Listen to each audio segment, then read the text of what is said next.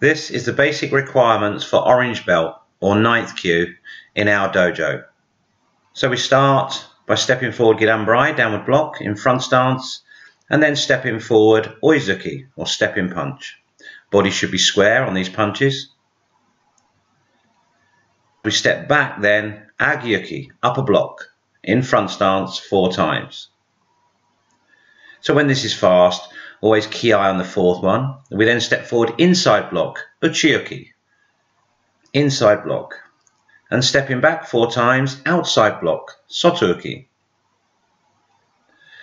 Try and keep the feet flat when you're moving back. Try and keep your heel down. Try and stay the same height.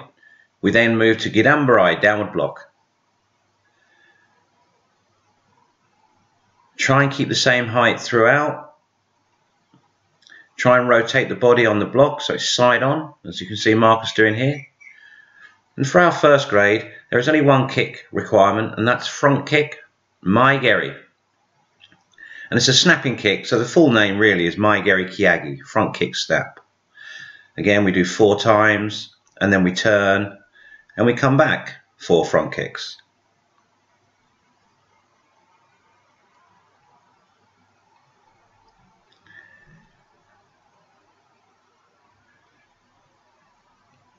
And that is our basic requirements for our first belt in our dojo.